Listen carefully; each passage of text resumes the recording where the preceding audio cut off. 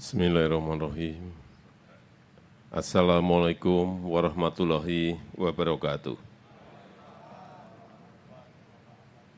Selamat pagi, salam sejahtera bagi kita semuanya, Shalom, Om Swastiastu, Namo Buddhaya, Salam Kebajikan.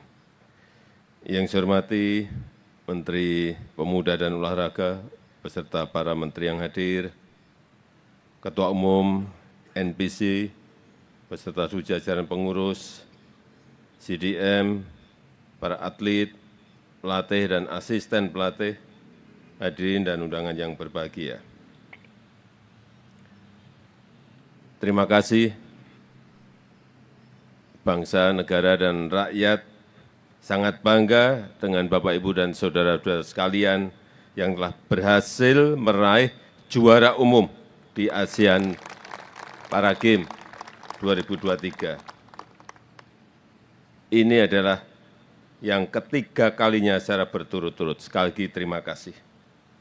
Berkat kegigihan Bapak, Ibu, dan saudara-saudara sekalian, Indonesia berhasil membawa pulang 158 medali emas, 148 perak, dan 95 perunggu. Ini capaian yang luar biasa.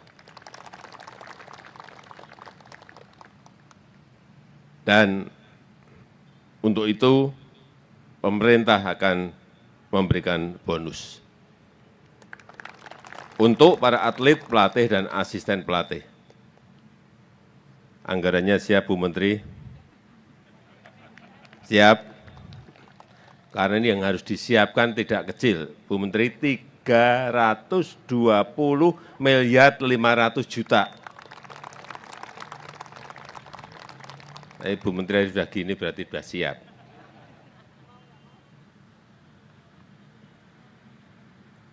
Dengan nominal ini emas 525 juta, perak 315 juta, perunggu 157,5 juta. Saya ingin sedikit berpesan, betul-betul manfaatkan bonus yang ada ini untuk tetap berlatih dan memacu prestasi. Jangan dibelikan barang-barang mewah belikan barang-barang yang untuk investasi jangka panjang. Karena ini duitnya gede banget. Emasnya 525 juta itu bukan duit kecil. Apalagi yang dapat medali sampai banyak seperti yang saya lihat di depan saya tadi.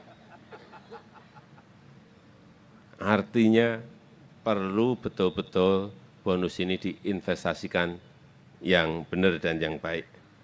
Sekali lagi terima kasih telah menjadi bukti nyata bahwa kegigihan, bahwa kerja keras dalam mencetak prestasi itu betul-betul inilah mengharumkan nama bangsa dan negara. Terima kasih. Wassalamualaikum warahmatullahi wabarakatuh.